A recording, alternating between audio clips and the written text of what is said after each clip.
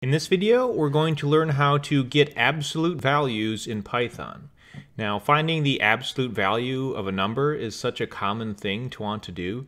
There's actually just a Python built-in function to do this for you. It's called abs. So an example of using it, we'll set a value x to negative 5. We'll just run abs on that value, and we'll get the absolute value, 5.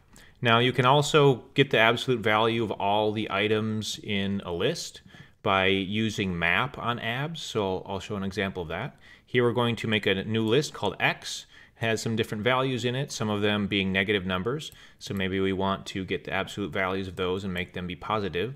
One way we could do that is use the map function.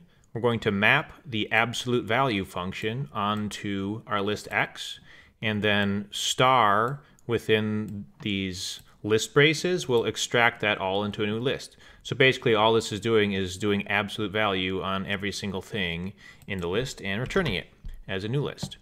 Now you can also calculate the absolute value of a NumPy array. It will work on those as well. So if you're working with NumPy, we're importing NumPy as NP. That is a package for doing numerical computing in Python. We're going to convert that list we made above into a NumPy array and we'll just run abs on that. And now this will directly convert all of these numbers into their absolute value equivalents without having to do that map operation we did.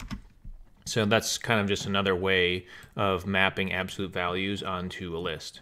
First, converting it into a NumPy array.